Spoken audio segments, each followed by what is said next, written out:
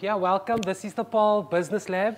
Um, it's just a platform for people in Paarl and Wellington, uh, entrepreneurs to network with each other, uh, learn from other people that have these journeys uh, through their life already.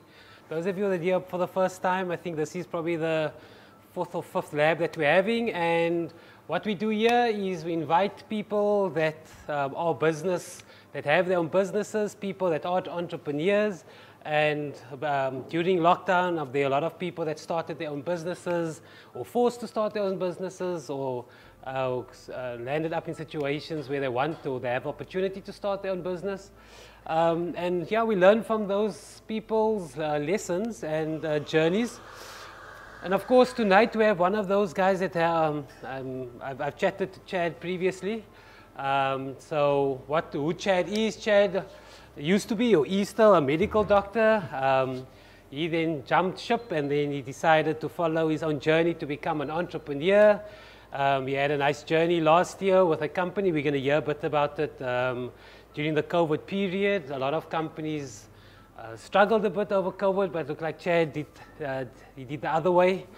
Um, yeah, so basically, uh, what I would, would have liked for Chad to walk down here and you guys give a round of applause, but we'll leave that for the, the Oprah please, show. No. But Chad, um, yeah, so thanks, dude. Welcome. I see you had to come all the way from Cape Town. I literally. Yeah, I know uh, entrepreneurs and business people are very busy, so um, thanks so much for your time. That's and a pleasure. That's welcome, a big pleasure. Welcome back to Paarl. it has. Been, I feel like I haven't been here in a while actually. Yeah. Um, I remember I came here three years ago. Yeah. years ago, yeah. We did the when I started the initial yeah. initial business. Yeah. No, yes, I, I mean, um, yeah. Off the bat, I normally ask people, um, yeah, how did you, how did you get your job, and what what, what are you doing? um, I come up with stories for the living. That's okay. what I do. I tell stories. I come up with ways in which we can you know, create a vision of something in the future and a life that I'm trying to live towards. Yeah. Um, and that's that's pretty much what I do these days. Okay. As a, um, so I, I um, left school. I finished school in 2011 at Paarl Boys High and um, started studying medicine at Stellenbosch in 2012. And um, yeah, it was it was an interesting time at Stellenbosch. Uh, within my first year, I really realized. You know, maybe clinical medicine is not for me. Um, but I also understood the value, you know, in, in, in getting a degree and having um, a good education. And I was fortunate enough, my parents, they, they did their best to get me through. And um, yeah, I finished, I finished med school in 2016, 17, 17. And I started working as a doctor for two, at uh, Worcester for two years, Worcester Hospital. Um, but literally from third year, I started studying why healthcare is wrong. Mm. Like what's wrong with healthcare? And I started realizing that we've got so many inherent issues um, that I just became a student of it. And um, I had a lot of fights at, at, at, work with colleagues. You know, you butt heads when you have different opinions and visions. You know, if I say, for example, um, we should do something in X, Y, and then they say, no, but Y is the way to do it. And then there's never really a, an agreement there. But um, I stuck through the internship and things, and um, ach, there were a few hurdles here, you know, the mental health and all in, along the way. But in 2018, I decided that I'm going to start, you know, I really want to be an entrepreneur and I want to yeah. start my own company. And um, yeah, that's when we actually came up with the idea of the company initially. Yeah. the whole premise of the company was to bring smart technology from abroad and package it in an affordable way and sell it to our market. Mm. Um, and that was the initial idea. But uh, as things go, nothing's, you know, entrepreneurship is, is literally like a whirlwind. Mm. So you'll know as well. So as soon as you, you, you start, you hit the ground running and I think I, le- I learned so many lessons the last three years. It's not even funny. Yeah. But um, I, I quickly realized what my core focus should be, mm.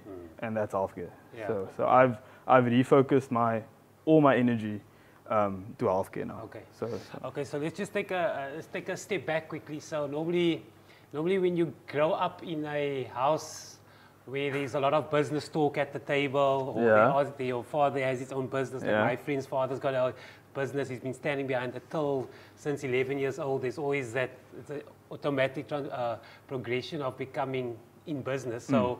What was the childhood like? Was that conversation at the table, or was it? Not, not so much. Okay. Um, my, my sort of um, image that I had uh, from from you know, growing up was this idea of you know you got to work for the government and, and, all these things. But my father always ran his school. He was a principal. Mm literally like a business. Okay. So mm. it was, for example, there was a school that didn't didn't get any funding, mm. so he was good at getting funding and um, you know setting it up in such a way that it's it's it stands out in the area that it was in, which was a very impoverished area. So he's he was somewhat of a of a of a um, inspiration in that sense, okay. right? He always did things opposite to the way it should be done, and I think that's kind of where I probably started you know, gaining that um, insight because, um, and he, you know, also the work ethic that he had and all of that. So I guess that he, he wasn't a standard teacher or yeah. standard principal. He, yeah. always did things differently. So that was probably one of the key. But but also what I did was um, while I was growing up in, in school and all. So where I grew up in Paarl East, there, I mean, there's not really that much sort of aspirationally to look at there. You know, people tend to be very complacent and the, um, LSM is pretty low and all of that. But what I did was, because so I was at Paarl Boys and what I did was I focused on what my um, friends' parents were doing. Mm. So they often, um, if you look at Paarl, it's got the separation with the river and all, but on the one end, the the income is higher, but the basic or the, the education level might not be as high as the other end. So on our, on the colored side of Paarl, like they used to say, the education level was like everyone had some form of a tertiary, be it a diploma or degree or whatever, but the income level was incredibly low. And that for me, I was like, it doesn't make sense. Like, why? Everyone's telling you, go get a degree, go get a, you know, go work and everything. And then you realize that the, the, the, the key gap there was the fact that um, we were never skilled or, or taught or yeah. nurtured in financial literacy, you know. Yeah. Selling, I mean, yeah. if you sell, you live. If you can sell something, you can survive. And like, so that is the what we I mean we weren't on naturally taught. Mm. Um, so yeah, I really studied them, and I saw a lot of them. My friends' parents had shops, and they had uh, one had a gym, or one had you know made wine or mm. something like that. So always some form of revenue generating yeah. thing that they were doing. And then I realized, well, that's probably mm. what I want to go and do, um, because the prosperity that comes from that is not just for the family. I mean, it's, it's, it's immediately it's it's from, it's for, for generations. So, um, yeah, I think that was, that was sort of growing up what I, what I focused on when I was smaller through school. Uh, but then when it came to um, varsity and things, I just started reading. I yeah. just read. Miles, I read a shitload. Mm. Like, yeah. I, I, read a lot. Yeah. I would read, you can ask also, I, I read, like, I, am like a vacuum cleaner. Mm. Anything I can find that's related to business. I mean, I'm just bought today I just went online and I bought like too much, too many. Um, I bought books on AI and healthcare. Yeah. And I just find it and I'm like, that's what I want to study now, and I just go. Mm. And so I just consumed a lot of information and I studied the guys, the Elon Musk of the world. I studied them. I studied um, Peter Thiel. I studied, you know, zero to one. I just I went and made an effort to learn the way in which these guys have built things from scratch and scaled it. And a, a lot of that was, was um, difficult because you're often not surrounded by people who think that way. Mm. So my, my business partner now actually says to me, like, you are in, like you sound like a crazy person. Yeah. Like you just fart things out yeah, all the time. Yeah. And like you, it, it, it, feels like there's no control of what you're thinking about because you, you, you, you, um, you study these people and you realize you have to create a future version of the world you're living in now and work towards that future version of that mm. of that world. Mm. And it's difficult to, to have that conversation with a lot of people. No, no, hundred percent. So, um, so um, yeah. Yeah. No, so, so tell me when, when, what happened that you decided, okay, this, this entrepreneur thing is something for me. What was the first thing you sold? What was that first thing that triggered and said, okay, maybe I'm, I, I don't mm. like the hmm. selling part, or maybe I like the selling part, I can do this? I don't love the selling part, I'll be very honest with you. Yeah. It's not my favorite part of entrepreneurship. But I think what, I, the first thing I ever sold, I remember we used to have in grade three and grade four, we used to have um, entrepreneurship day. Yeah. And my mom used to make those chocolate things for me. Um, chocolate brownies? No, no, what was oh. it? Those um, the molds, man, like the chocolate molds that you put in like a bunny or like a, a heart or something. That was like the first thing I used to, we, we sold, and I used to get so excited for entrepreneurship. That Okay. was like my favorite day of the year. And um, then through through school, I sold um, diet plans at some point. I work because I lost a lot of weight during school. I was quite big. I'm a bit big again, but I'm getting there. Yeah. Um, so I, I lost quite a bit of weight and I started making meal plans. And I sold it for like 250 rand a plan. Okay. Completely untrained, but uh, Yeah. anyways. Um, and yeah, I mean, I always just found things. Oh, I used to sell CDs. Like, Yeah. so I just enjoyed making something and then giving it to someone else. Be like, okay, then they find value in what I give them. Yeah. I like that. Okay. And then through varsity, I was a DJ. My whole varsity, throughout varsity, I, What I was the DJ name? just Chad. I was Oh, okay. just Chad. Okay. Just, I DJed for six years um, at campus and campus parties and Okay. things. And um, yeah, I just sold things. I mean, I sold he- headphones at some point. okay. Um, So it's, it's, it's It's just always been- to- but I think uh, from the entrepreneur side, like as, as, as important as the selling part of it is, I think the I, I just believe that as an entrepreneur, your your literally your job is is to tell stories, man. Okay. I, I've, I've I've concluded that over my. It's not been a like a illustrious career. It's Yeah. been like three years of being an entrepreneur, but I've accepted now that it's it's less Excel and more PowerPoint. Yeah. If you know what I mean. Yeah. So Yeah. so the, the goal for me every single day is to wake up and say like this is where I think this thing must go. Yeah. And I, I then sit back and I and I feed off things and I search for things and I use those things to and luckily I've got a partner that that really understands me. Yeah. So I will take all of it and say, Yeah. yeah. And then you will go and say, okay, that's cool, Mm. but now you need to structure it. Mm. So, so it's really about vision. It's, it's, it's just now about, that's for me what entrepreneurship is about. Yeah. It's about having a vision and giving a vision to something. And, and pulling people together to make it happen. Okay. Yeah. Okay, so tell me a bit about, so last year was, like some people don't count last year as a year in their lives, but Yeah. I mean, so probably totally opposite for you. So tell us a bit about um, just the nanotech, the Hmm. nano, the idea behind that, the successes, the lessons. Sure. So, so yeah. So, so Nano- NanoWave was. I, I, I look at NanoWave as a as my first off-taker product. Like that was the first product that really gave me the opportunity to experience um, the good, the bad, the ugly, Mm. everything that there possibly is about entrepreneurship. Yeah. And I experienced it in a year. So we had before, so 2019, uh, we had a few products on the market as as Wave as it was then. So we had. Um, the media box, which is the Android media box, which sold quite well. We just used e-commerce platforms, Yeah. and that sold quite well. Then we had our smartwatches. So for me, the smartwatches were very important for me because it was for me a step in the healthcare direction. Yeah. So when it comes to things like, and this was 2018, 2019, I really wanted to make smart wearables commonplace Yeah. because not everyone can afford an Apple Watch, not everyone can afford a Galaxy, whatever, whatever.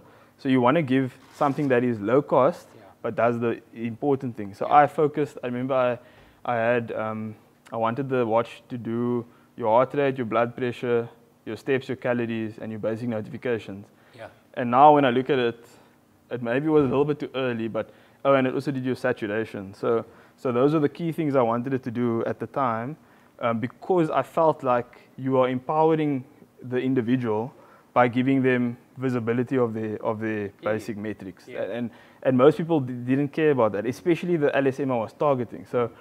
If you've got a Discovery Medical Aid, you probably kind of know that already. So it was more slightly lower LSM, but just to introduce them to it. Yeah.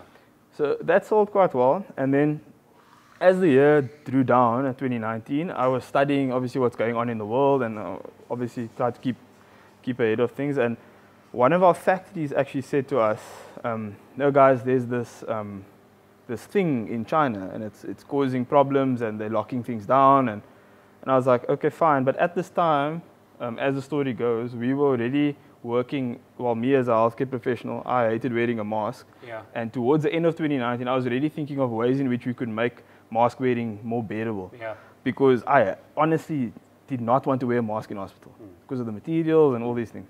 Anyway, so then we started engaging some factories and we found a factory that could manufacture masks for us of this specific material and this specific design. And um, ach, we just bought a few just to see and we just, you know, engaged with them and all. But there weren't like clear plans to like, okay, we're gonna launch this thing now. So as the year drew down, um, the one factory in, in, in Guangzhou shut down completely. And they said, no, no, we have to close down because it's, uh, it's, this thing is spreading. Yeah. So basic epidemiological principles tell you that if an area the size of China decides to lock down, it means that they are, it's already too late, Mm. Right? They've already experienced the fact that there's been some form of outbreak distal to where this area is. Yeah. So I looked at it and I was like, okay, fine, if that's the start, then it's probably going to spread. And um, yeah, at that time it wasn't a big deal. Everyone was like making fun of Yeah, COVID of and stuff. What's happening in And China? uh, yeah, people were literally just making jokes about it and everything. And I, we then decided, um, this was in Jan, yeah, Jan. We decided we need to, we need to, we need, people are going to need masks. Mm. But at this time, no one knew and no one believed that we would need masks. And here again, the, the concept for me of being visionary and thinking about the future Mm. comes, comes into play. Because if you look at a blank piece of paper and you decide, okay, this is what it's going to look like in five months, who the hell knows? Yeah. No one knows. But you have to be confident in your, in your, in your sort of research and your beliefs Yeah. that this is what it's going to look like. yeah. And we then, I just decided with my, with my then partner, and I said to him, let's do it, man. Let's, let's, let's bring these masks in and let's, let's, let's design it and get it going. And we didn't have money, didn't have enough money.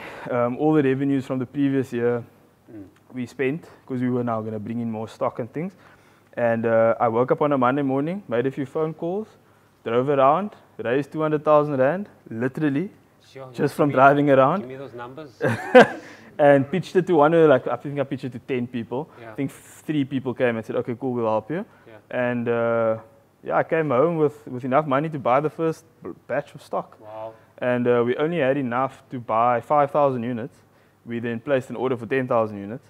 Uh, we opened the pre-orders, and then absolute chaos ensued after that Mm. because then Mm. we had now created the brand and we created this thing, and um, we it was literally towards the end of uh, um, Feb and Cyril just lo- he- a- as we placed the order, Yeah. Cyril locked down on that Thursday. I think it was the 30th of March. something, yeah. Cyril locked down, and and we had promised people you're gonna get your things Yeah. because we, we, we have to deliver. And then it was just an absolute shambles Yeah. because then logistics, global logistics was completely out of sync. Mm. Local logistics was Mm. non-existent. Mm. Um, it was it was it was insane. And we, and then I realized where um, this entrepreneurship, the, the spirit of entrepreneurship comes in because as a as a professional person, right, what I've experienced, if you've got a degree or you've got whatever, you people tend to believe no, no, they're above certain things. Mm. You see, and, and for me, I, I thought about it, and, and you have to literally, you can't have an ego as an entrepreneur. Uh, Like, I'm gonna say it, sometimes you just eat shit as an entrepreneur. That's Yeah. literally how it is. Yeah. And, and you have to sometimes be willing to just lay on the floor, and people will step over you. Mm. And it's fine. They step over you, you just look and be like, fine, I'm not, I can still walk, and you get up again. Yeah. So at some point we were flying to Joburg, banging on doors to get our stock, trying to track the stock, Mm. and it was it was um, it was probably the one of the most stressful periods I've ever ever had. I was getting three minute phone every three minutes a phone call. Where's my stuff? Where's our stuff? It was ten thousand units we had to get out. And we were effectively two people at the time, and Yeah. then we brought in some more people to assist. So everything was sorry, everything was sold on the e-commerce platform. Completely sold out in two days. Wow. Yeah, literally. And and again, it was just of us basically creating this hype around this Mm, product, mm. which we basically convinced people that it will be the product you're going to need Yeah. once you once COVID. Look, it was. A, I think in entrepreneurship, you must never underestimate the the, the value of good fortune and luck. Mm. Sometimes any entrepreneur looks at you and says, "Nah, it's all hard work. It's all." It's nonsense. It's not true if you study any any big like proper successful Fortune 500 Nasdaq listed top three country company, they'll all tell you that there was an element of luck involved, and that is just sometimes what it is. And you just have to be in the right place at the right time, and and and be. You must just be willing to capitalize on the opportunity. Mm. So um, yeah, so that happened, and and after we had sold these out, and we eventually delivered everything to everyone, we roped in. I mean, it was like a the garage at home was full of Yeah. masks, and we were just boxing things and packaging things, and we basically created things on the fly to make it work. So, I mean, how are we delivering? This is like a national thing? This was all, and we, we, we, we um, set up an agreement with the courier guy. We paid them nothing initially. Yeah. And we just let them, we just said, guys, I need you to help me get the stuff to everyone in the country. And this was always in Durban, Joburg. I was tracking things on my phone. It was insane. And I realized I never want to do this again, but Yeah. this was what happened. And that was my first key lesson. And I actually realized then and there that I do not want to sell to people. Okay. I do not want to be the person selling to the other person. And then I realized I want to do a, I want to become a B2B business. You know, that's sort of my model that I want to Okay. that I want to do. And since then, I've I've and uh, I've really now decided that that's what I want to do. Yeah. Anyway, so then after those went out, made a few phone calls, and um, a company from Joburg f- saw the mask and they liked it. And it's a big company, corporate type company, and um, very well established. And they contacted us through, uh, through someone I knew and um, had the introduction. And then they said, guys, we can make this thing big. Wow. And um, then I realized the value of distribution, like distribution and actual proper distributors that are focused and good at Yeah. what they do. And we signed exclusivity with them at the time uh, for that specific version of the mask at that time Yeah. um, with uh, our company in China Yeah. specifically. And um, we then started working with them. And uh, look, they didn't have necessarily have exclusivity with our local company, Yeah. uh, but uh, we, we gave them rights to, to Mm. move. And they proved themselves. They did sell well. But no, so, so just tell me something. So you get a phone call from a distributor. How, I mean, like when you start your own thing, you have your, uh, you, you start your, a lot of big businesses come to you Yeah. with gold in their hand and say, Yeah. yeah, it's a dangling carrot. I mean, what, how do you go about deciding, okay, these people are genuine? I mean, do you do a, or is it just a feel that you have, guys, we're at the point now, this is where we can make it? And then you just go with it, or do you really like think about this? Because it happens to entrepreneur. You start something, someone knocks on the door, they No, say, of course. yes, whatever you want. Look at that time. It was. It was. We didn't have. You know, in chess, eh, like you look at your chessboard sometimes, and you're like, you I only have one option here Yeah. now, and sometimes you just have to take the Okay. take the risk. So, but it's very. It's easy to spot the bullshitter very quickly. Um, that's something I've learned also over the over the past two years. Um, uh, but we, yeah, no, we just, it's, it was just a gut feeling, I guess, Okay. at the time. We're like, guys, okay, we're gonna go with you guys, Yeah. and we we started, and it was also, I mean, nothing was a given. It was all a lot of grafting and Yeah. and um, like every day doing the doing what we had to do. Uh, I focused, uh, so being the doctor at the uh, within that space was useful because I had the background on, on healthcare and I had the background on, on medicine and all, and, and um, I was able to engage at a very high level with various stakeholders. So I could yeah. say, I could engage with um, a CEO of a hospital Yeah. and be like, listen, this is this is what it is, and Okay. so so that was useful. And um, at that time, we were working very closely with our distributor, and I was very much involved with the nuts and bolts of um, the operation. And I didn't particularly enjoy it because, um, like I said, my my my role and my position is more uh, creation and, and vision and all. Yeah. And uh, at some point, I did step back a little bit, but initially, we were so engaged with them, and, and we basically strategized how we would make this thing work under the circumstances. I mean, Yeah. COVID, that time, between uh, um, hard lockdown and level three, that was completely unprecedented. Who knew what the heck to do in that time? Nothing worked, nothing was normal. Um, it was like force majeure, basically, the whole time. And um, um, I remember when Cyril introduced the levels of, of where people go back to work.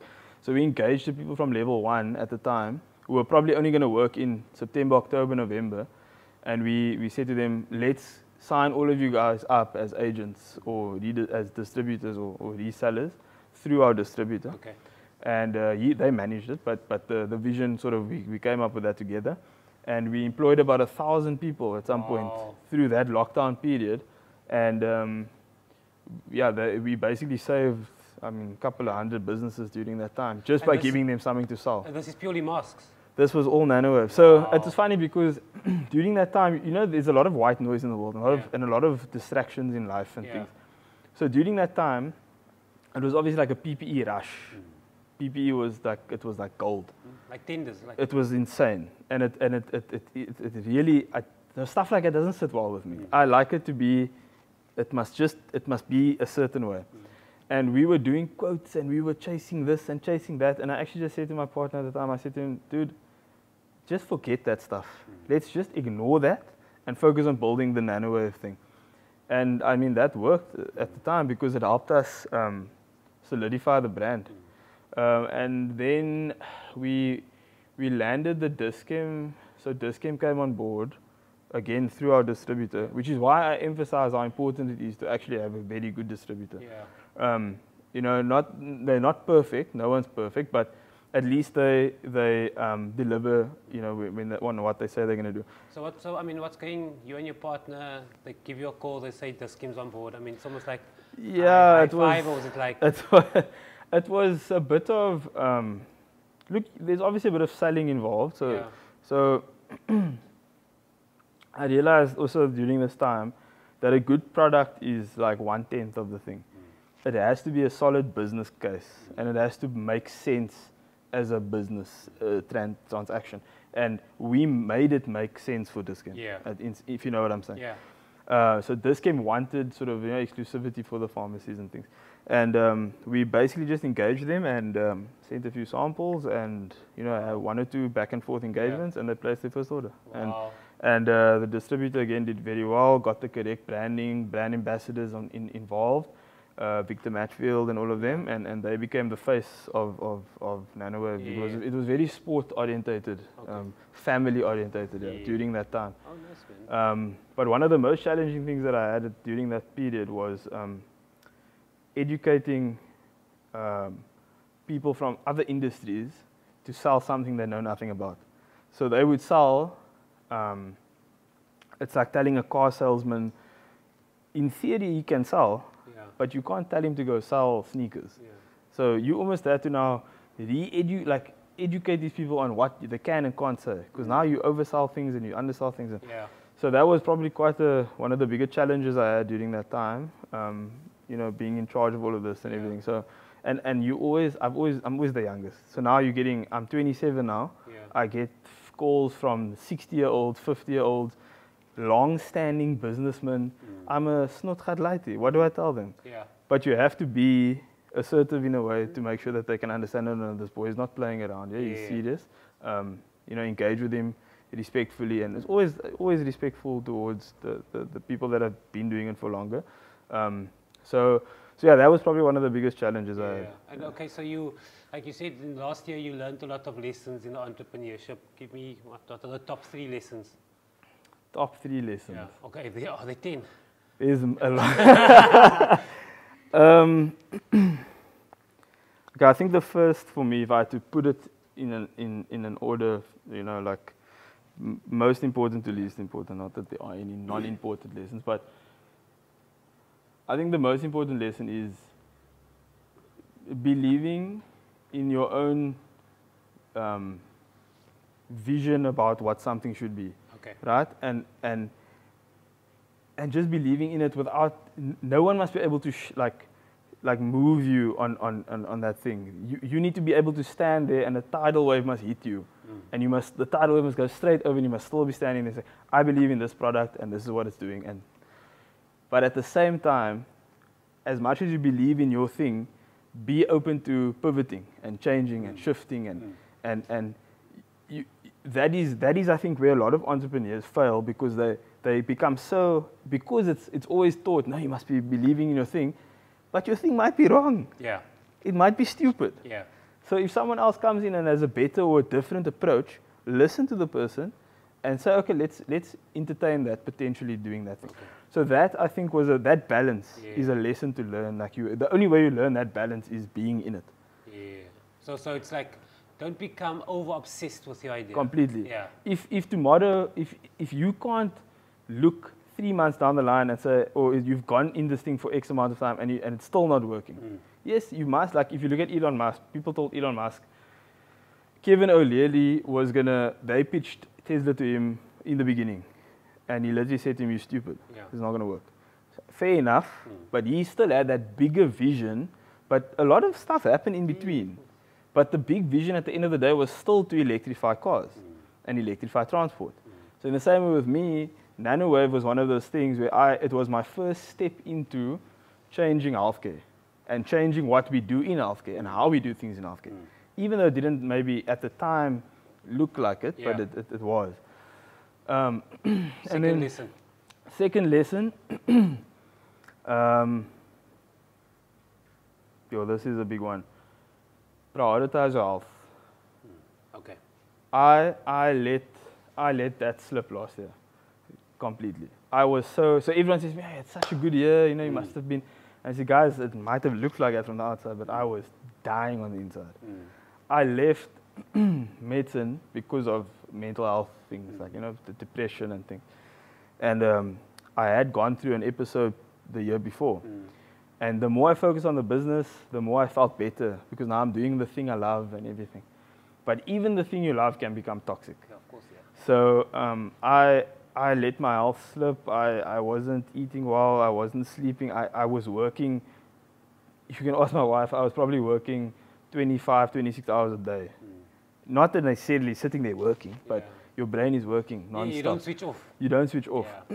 And um, yeah, I think I think you almost have to.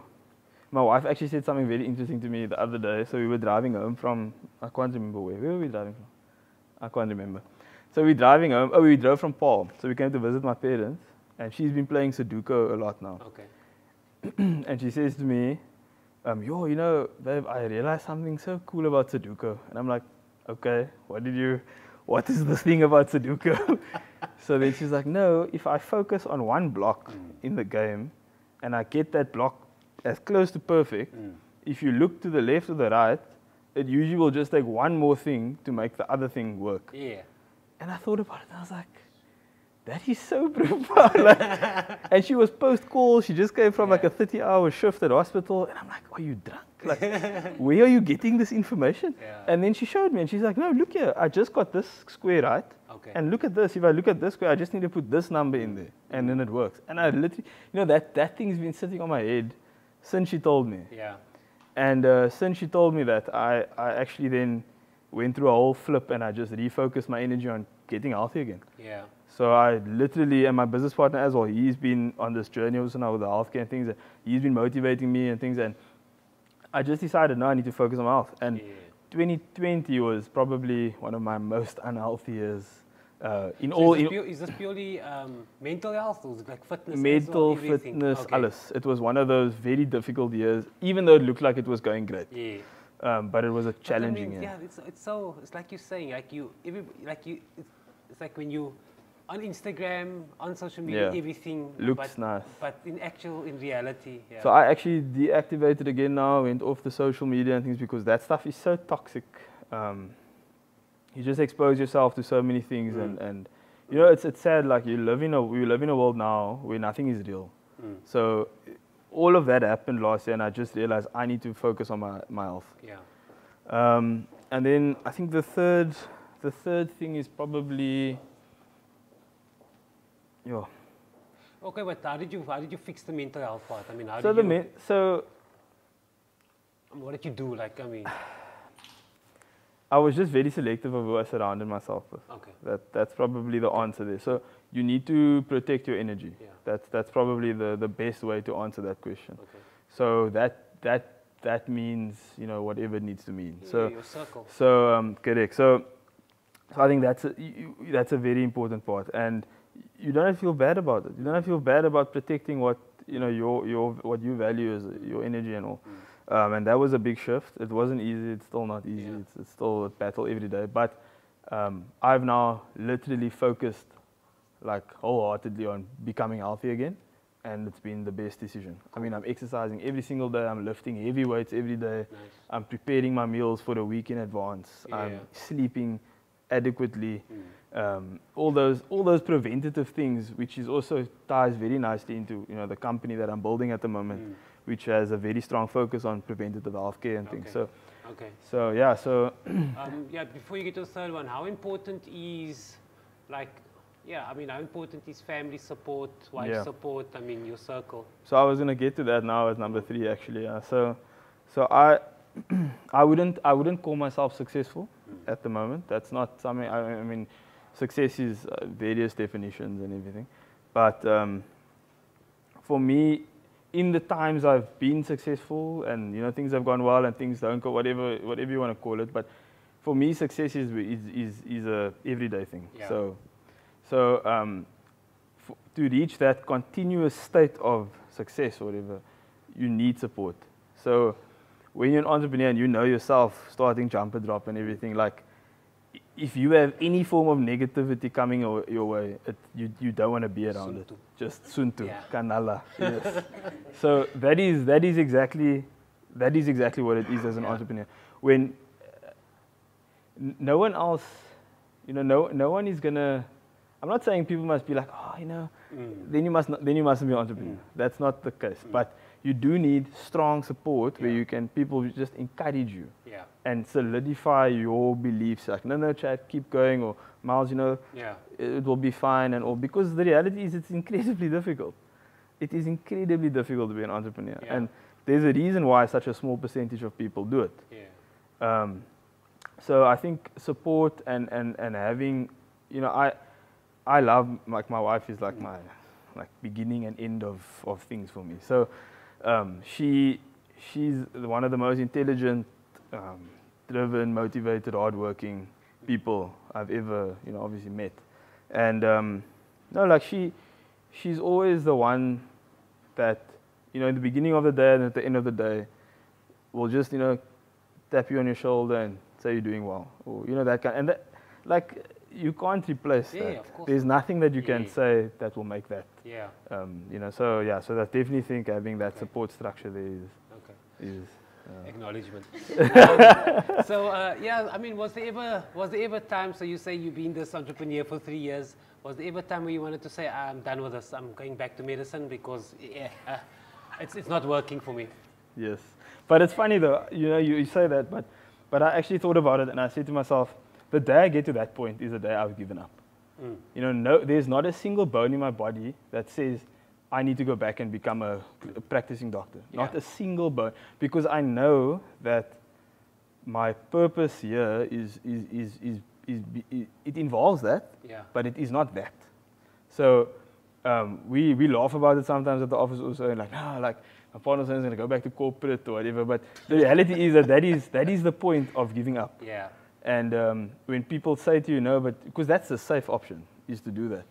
But none of us are cut from that cloth. Like we just aren't. That's not who we are. Yeah. You'll end up depressed and lonely uh, three months later again. Yeah. So, so I'm at that point now where I, I've just. I'm not saying I have blinkers on, Mm. but I know exactly where I'm going. Okay. Yeah. Okay. So tell us what's new. So, yeah, like there's a lot new, personally and in business stuff, and but but no. So we've um, I'm at uh, I've gotten to the point now where um, I've shifted my entire focus to to healthcare Okay. and health technology and um, becoming Africa's biggest health tech company. Cool.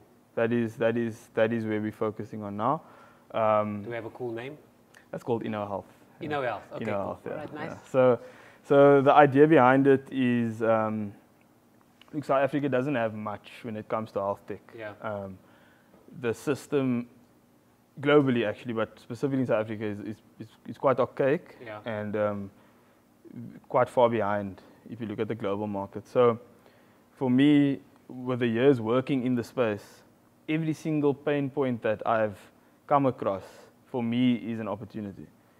And that opportunity is there to improve patient care. Great.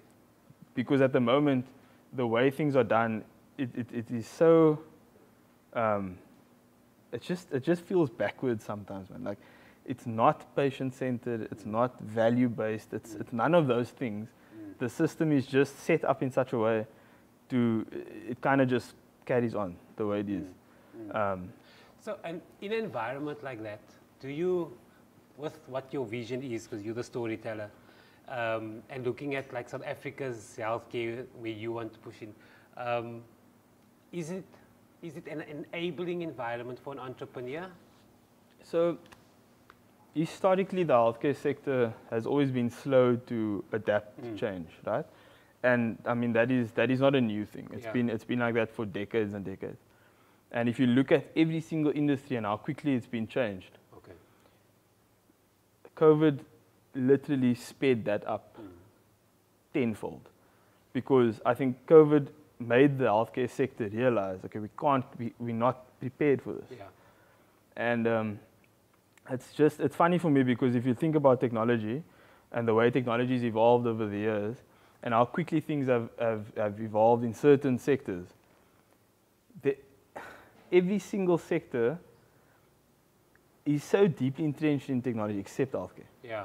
You know, yeah. people, people literally think in the ideal world, no, no, you know, all the doctors discuss each other, either the yeah. patients and things. We don't. Yeah. Doctors spend 80% of their time writing stuff and doing administrative work, and then the patient gets five minutes of their time. Mm. So, all of those things have driven the healthcare sector to realize, okay, maybe it's time for change. Mm. So, like in the US, for example, um, the FDA is the ruling body yeah. there, and they've now fast tracked certain things. Yeah. And in South Africa, for example, we our ruling body SAHPRA, and even they've started engaging, you know, more. Uh, for example, I'll give you one example. Um, one of the products I, I, I, um, I brought to the market um, is called U-Image. Uh, it's a wireless ultrasound, and uh, I managed to get that SAHPRA approved in under three months, mm. which was it was something abnormal be yeah. because at the time it usually would take you a year to two years to get something certified. Okay. So there is definitely in South Africa there is a shift, and particularly with the NHI coming in now, which is the National Health Insurance, that is for me what we are working towards. Mm. So we are aligning ourselves as a company to ensure that we have strategic you know, agreements and partnerships in place to enable um, execution of the NHI okay. and, and, and, delivering um, that service um, okay. to people. So. So yeah, we are we are very forward thinking as a as a company. Yeah. So what are we looking? I mean, like products wise, or what is it service wise? So interestingly, we we've um, we've modeled the company in such a way that we have looked at what historically what um, healthcare biotech type mm. companies have done, and we flipped the switch. So the company's focus is um, innovation, so research, development, and all of that, and then commercialization. But the research and development is triggered by understanding whether or not this is a viable product yeah. within the market. So, you know, in, in, with, with business and, and with things, if there's no margin, it doesn't make sense. Yeah. So it, you have to be able to monetize the entire thing. Of course, yeah. And historically, that's where healthcare companies have, have, have struggled. So you would plow millions and billions of rand, well, dollars in the US case, but plow it into it, but then the product never sells mm. because it doesn't actually, it's not necessarily needed. Yeah. Um, but the research is important. Yeah. Um, but we've, we've realized that we need to build something that, that you can monetize. So we've taken that, that approach, so the whole commercialization innovation thing, and we focused on, on four key areas. So the one is preventative medicine, yeah. so lifestyle type things. Um, and then there's diagnostics. So diagnostics being um, advanced ways to image and so on. The third thing is um, disease management. Okay. Right? So, so with disease management, there's um, that involves remote monitoring of patients, yeah. and so just ways in which we can we can make disease monitoring a lot more decentralized. And then there's um, one of the other key things is obviously data aggregation and analysis and, and electronic healthcare records and those kinds of things. Because those are sort of the key focus points, right, that we've used to, um, where, that's where we position all our, our products and our solutions and our services and our concepts. So we look at those key things across the entire human life cycle. So we go from a baby till when they're 75, and each of those separate segments all those things can need, need to be addressed okay. and need to be optimized. So, okay. So that is sort of the premise of our company at the moment. And um, we are, yes, we've we positioned ourselves now um, with certain products now um, uh, to, to really now get going with it. Okay, cool. And uh, yeah, we've really been putting a lot of work into getting that all, to getting that, yeah. that value chain set up nicely. Yeah. So, so, I mean, what's the average day of Chad? Um, like you said, you have an office and you have a yeah. So, so the average day is actually so I, I am one of those 5 a.m. club people. I do wake up at five, office four sometimes, but five o'clock usually. Um, easily or not easily? Very easily. Yes. I jump up 20. Well, usually okay, like probably like quarter past five. Yeah, yeah. quarter past five. I usually yes. with no alarm. I just I just wake up. Wow. Okay. Um, so I'm up at quarter past five.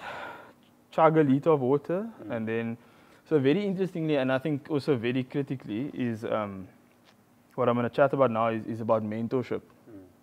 So after I left Paarl, so uh, my wife and I, we stayed in Val and uh, I really thought, you know, living there would, would give me a lot of networking opportunities. Like, you know, I really thought it would, mm. it would, it would unlock that thing.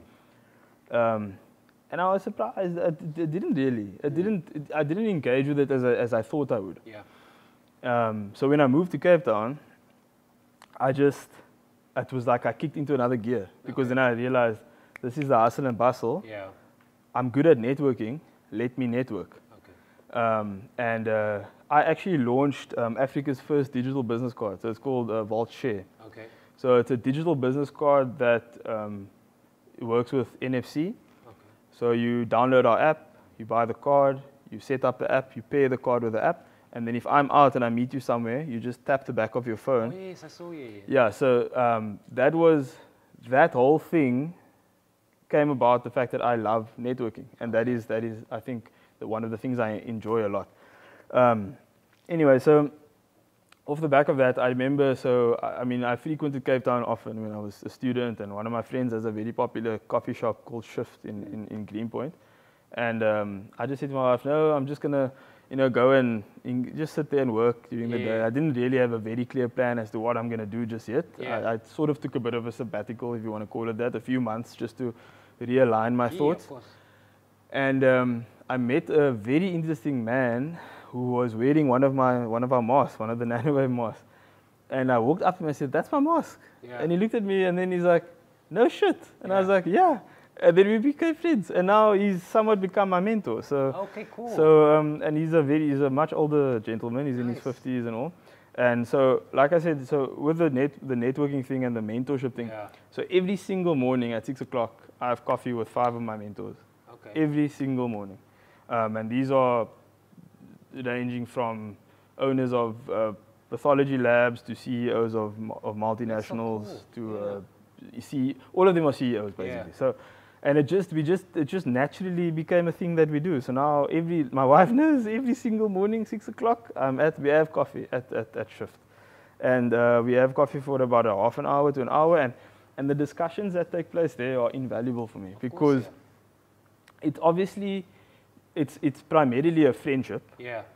But through there, you just start picking up all the little things that they that they that you you, you can't not mm. absorb what mm. they say. Mm. So I've learned a lot in the last. It's just been a few months of you know being with them every single day. But I'm I'm sitting with guys who've built businesses from 2,000 rand to a billion rand. Yeah. Yeah. I'm sitting with guys who are CEOs of companies with half a million, uh, 500 million to a billion rand turnover mm. per annum. Mm. You know, I'm sitting with guys who have built their own sort of pathology labs and have sold them off to.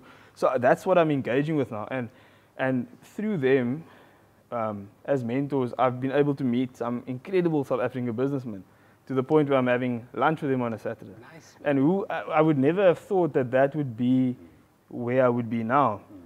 But this particular businessman, I remember I was watching his I was watching videos about him like so much last year, and and and then this year I met him, and I mean I have lunch with him on a Saturday. So okay.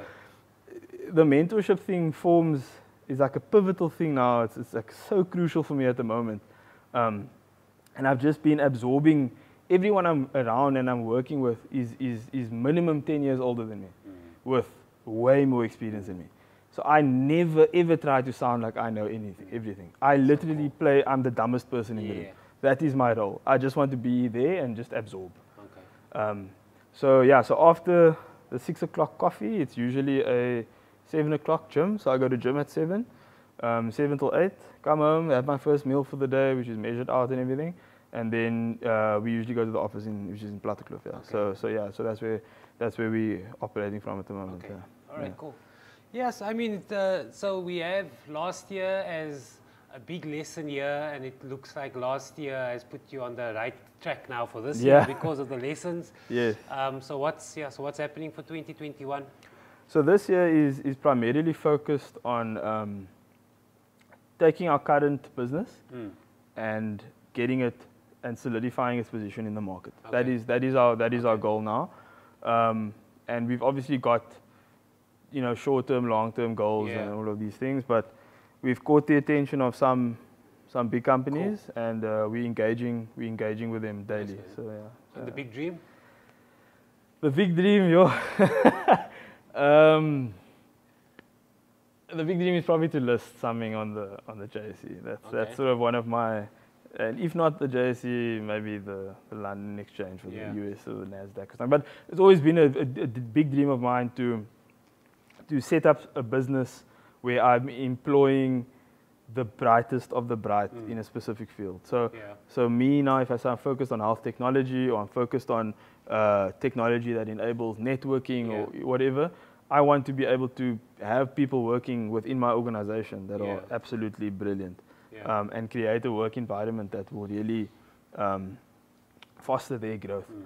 Um, so yeah, we're learning a lot about the South African capital markets and all of that, so how that works, and, and especially in the startup space. Okay. Um, so yeah, we we really trying to like reach a new frontier okay. in that space. Yeah. So why would you tell someone not to become an entrepreneur? Yo, that's a interesting question. I usually just tell people to try and go, but. no, but I mean, with your lessons learned now. Yeah, I'm. I'm thinking if you the only thing, the only reason I would say not to become one, if, if, if, if, if some people just aren't cut out for it. It is not for everybody. And um, some people are just genuinely good at working. Like, uh, if you have a specific role that someone needs to play, some people are very happy just fulfilling that role. Yeah. And I think I would, I wouldn't. I'm not someone that says, look, I do advocate a lot for being an entrepreneur. I've, yeah. I've been trying to get my wife to move over to that space for a long time. Someone must pay the bills. exactly, entrepreneurs don't make money. yes, we just like sit there and come up with stuff. So, um, so I, I think it really is. If it's if it's not for you, it won't you won't yeah. do it. And I and and I'm I'm always I'm very pro people just playing to their strengths. That's okay. that's what I think is is is very very important. Yeah. So. So I would literally, for someone not to start, if it's not in you, it's, mm. it's either, then don't do it. Is it a lot of hard work? Or is I've, it just I've a lot of mental work? so, so interestingly, um, so this businessman that I that I that I do the lunches with and things, he actually asked me that exact same question. He asked me, um, so Chad, is dit moeiliker nou as wat dit was? Mm. And I think. What, what, does, what does that mean? Was when? When I was working full time. Oh, is okay. this harder now than, okay. than and and when I think about it, it that's much harder. That's the only way to describe it. Is, it is incredibly difficult because you are solely responsible for whether or not this thing will work or not. No one else is going to, no one really can catch you if it flops or whatever. And I think this is a key lesson also is that as much as school teaches you, no, don't fail, you can't, you must get great marks and all that, I think it's the biggest it's the biggest sort of mistake our education system mm. has made with, with, with, students is that failing is bad. Mm.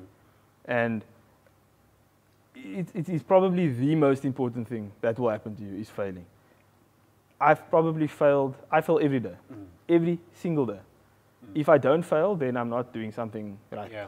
So I love, I feel safer taking risks, but that is my personality. Yeah. You see, I feel safe to take the risk if I look at it and I'm like, if someone says to me, no, no, I'll give you, because I was offered last year, I was offered a, a situation was brought forward where it was going to be, you know, we'll buy X and yeah. you'll, you'll, we'll partner up and we'll fund X, Y, Z. And effectively, I would have sold my soul and would have worked for this person. And for me, I felt riskier doing that. As safe as it sounded, it was for me a risk. Mm. I had to literally go step back and think, no, but I have to do this on my own, in my yeah. own way, and then figure out things after that. Yeah.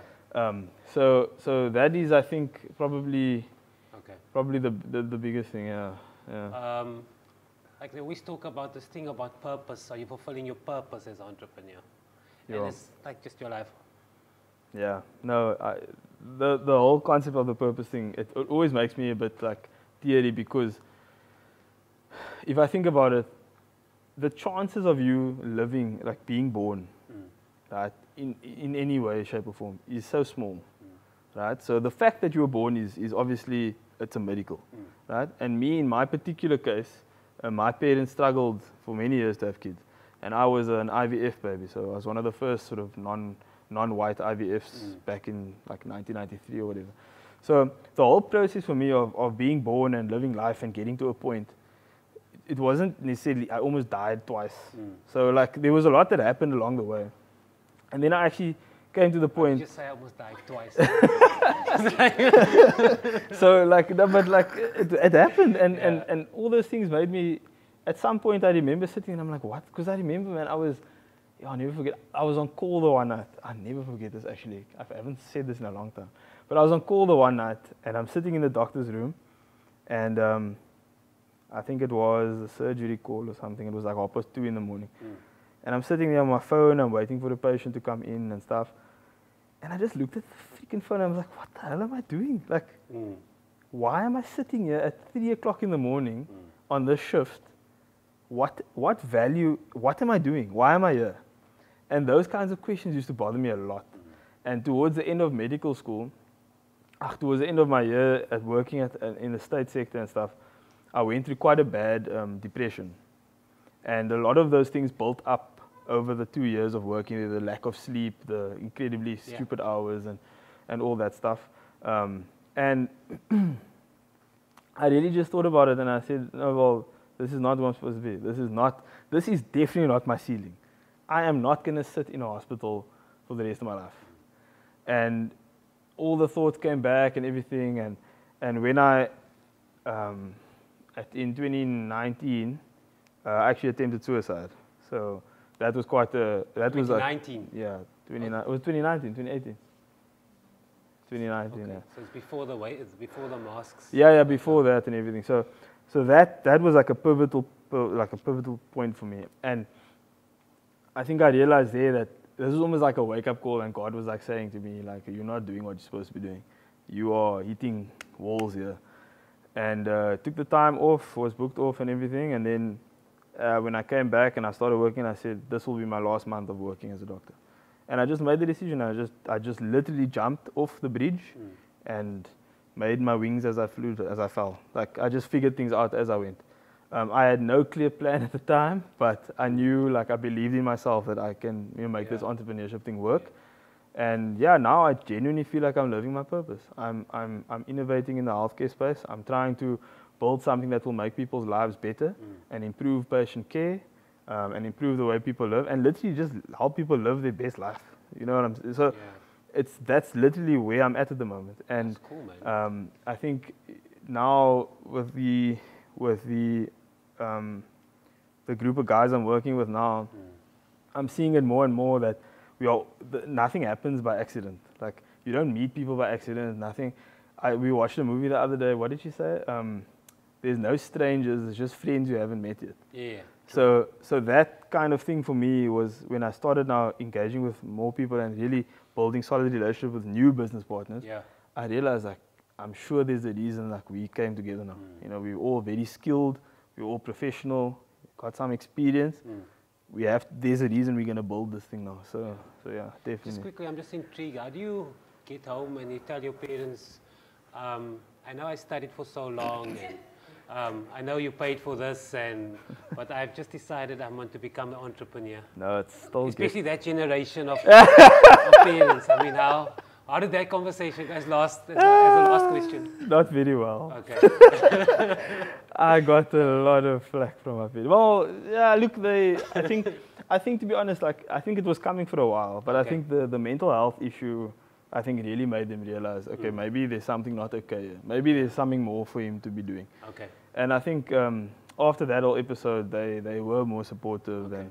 No, but I still get the thing of saying, don't you, don't you want to go work at the government again? Yeah. And, you know, all these, it's still there. like, it's just unfortunately, man, one of those things. But you know, more I say to my mom or my dad or whatever, I say to them, no, I'm actually trying to improve the, the, the government healthcare system. Mm. No, but just, you know, go work there, man. Just stay. So I get it. And I, I, I do understand why. Yeah, Uh, obviously, parents look, they, obviously, they want you the best for you and they, they, Well, they're fearful for you. They, Yeah. You know, it's hard for your parents to see. My mom, my mom was telling me, just the stress, you just stress all the Yeah. time. Yeah. And and I understand it. Like I'd probably be the same. You know, when I have a kid, I'd probably tell him also, nah, like you know, this Yeah. is a safe thing, you know. But I just I, I'm literally at that point now where I'm 27. I'm I'm you know, still have some time to build something of value. Okay. Uh, I've got a supportive wife and a supportive family, and actually very supportive people around me now. Nice. And um, I'm just I'm focused. My Okay. mission is clear. I know what I need to do. So Nice, Yeah. man. yeah, man. Yeah, dude. Yeah. So I mean, uh, yeah. Good luck with the with the new made space. Yeah, Uh, no. It's an interesting space to be. It is. It very. it Um, very. It really is very yeah, much very uh, interesting. Yeah, thanks for your time. Normally we just uh, give the mic to a few people that hide away, and I'll give the mic to them for them to ask you for questions. That's fine if Uh, anyone wants.